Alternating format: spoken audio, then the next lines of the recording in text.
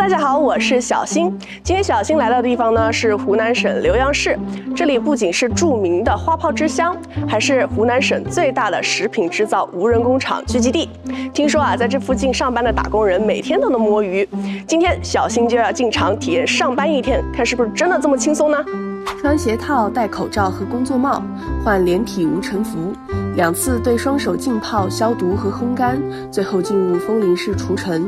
经过一套不算轻松的清洁流程，才能进入这家食品生产和包装工厂。工厂经理陈阳告诉小新，严格人员进入程序是为了从源头上保证食品质量安全，建造万级净化标准生产车间。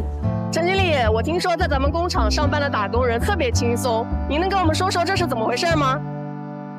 那就得从打造无人工厂说起了。像之前我们每一个工序都需要大量的人工来操作，而现针对这种情况，我们现在引入了先进的自动化设备，以及我们的工业机器人，从而大大减少我们的人力成本，以及对我们的产品质量有了一定的保障。我们车间四十台包装机开双方二十四小时，产足六十吨的产量。陈经理，咱们工厂呢用机器生产和包装这些产品，难道就不会出现什么纰漏吗？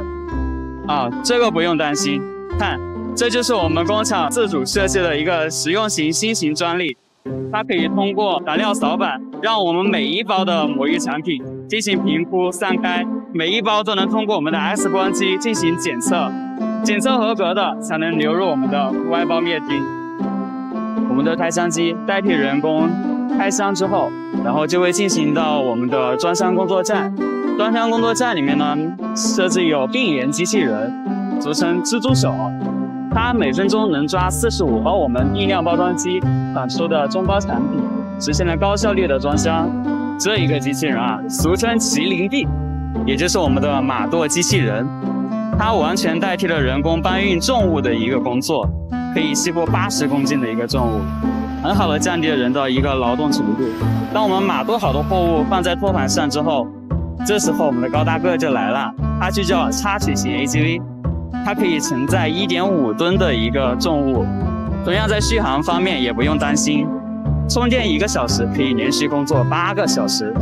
自从二零二二年我们车间投入自动化之后，在人力成本上我们节约了一百四十人，增量值相对于去年我们增长了百分之四十六。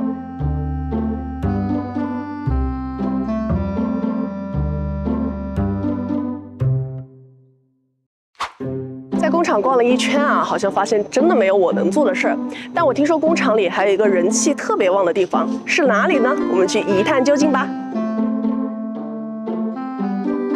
我们实验室是工厂为了保障食品质量和食品安全而建设的，目前已经通过了 CMA 认证和 CNAS 资质，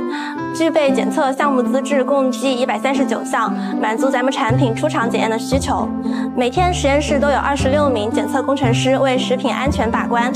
是咱们工厂打工人最多的地方了。在智能制造时代，机器化生产为食品加工业提效赋能，使美味能更快一步到达消费者嘴边。而食品安全也是生产的底线，对食品质量的精细把关，能让打工人解放双手的同时，也能让大家吃得安心。